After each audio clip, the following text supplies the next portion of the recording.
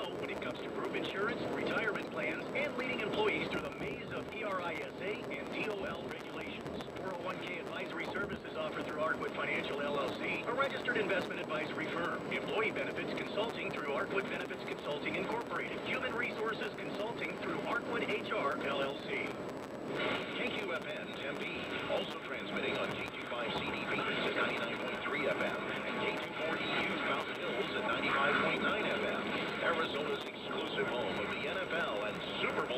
Bowl 54.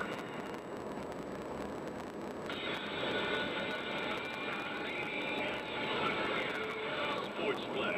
All right, Jacker, and the Celtics are fighting for respect in the East, not to mention the Bucks and the defending champion Raptors, who have won 15 straight. Boston has won its last seven and takes that streak to Houston tonight. On Sunday, the Celtics had all five starters in double figures and a healthy rotation. And Kemba Walker is hoping they can duplicate that performance tonight. Just wanted to use our speed against them. You know, just made some huge plays. You know, that was that was the match we wanted to go to. To go to. Um, and you know, I was able to make some big shots, and you know, my teammates they just trusted me. The Clippers are in Philadelphia. The Sixers have quieted critics for the time moment with back-to-back wins and now have won 24 of 26 at home this year. LA is coming off an easy win in Cleveland Sunday by 41 over the Cavaliers. Doc Rivers looked for that same defensive intensity tonight. I thought defensively we were awake, you know, and so uh, with our team, we get stops. The way we, we push the ball up with all the scoring we have on the floor, uh, we're going to score points. And six players in double figures. Marcus Morris started his Clippers debut and at 10. San Diego State is the only unbeaten team in the nation remaining. The Aztecs are 24-0 and look to extend the best start in school history when they host New Mexico. Sixth-ranked Dayton has won 12 straight and meets Rhode Island, while ninth-ranked Maryland, unbeaten at home this year, at 13-0, will Nebraska. The Edmonton Oilers will be without star Connor McDavid for at least two to a quad injury, while the Blue Jackets have lost defenseman Seth Jones for eight to ten weeks following ankle surgery. I'm Rich Ackerman. I'm Zach Gill, the new guy on the block, and I love to talk sports with you. 6 p.m. Eastern, 3 p.m. Pacific, here on CBS Sports Radio.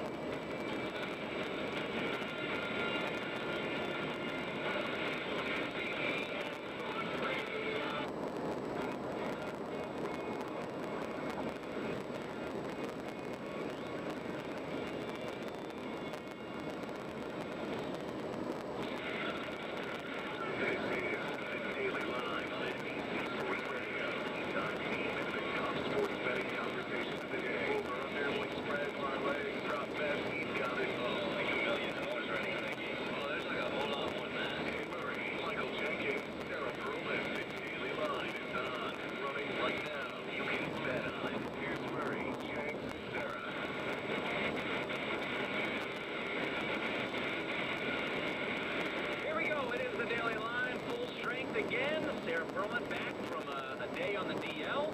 We're good to have it's not the DL anymore. IL. IL. Oh. Every time they say IL, like the internationally, why is that personnel? Oh, that's when they changed the name. It's one of those small things. Like, who cares? Why are we changing? Everyone still says DL. Yeah. For the record. On the injured list. Sorry, sorry. Baseball's coming around the corner. We got some baseball. We're gonna talk about baseball today too. What if instead of keeping it on the down low, keep it on the DL, you had to see it the IL? Like, what does that make it the injured list? The injured list. Yeah, whatever. Keep it in the International I'm saying DL, man. Yeah. Whatever. I was on the SL, the sick list, but I'm back. The sick I'm happy to be. I coughed today. I'm great. Yeah, just cough on James. Okay. That's fine. Uh, I've had everything in the book. You can't hurt me.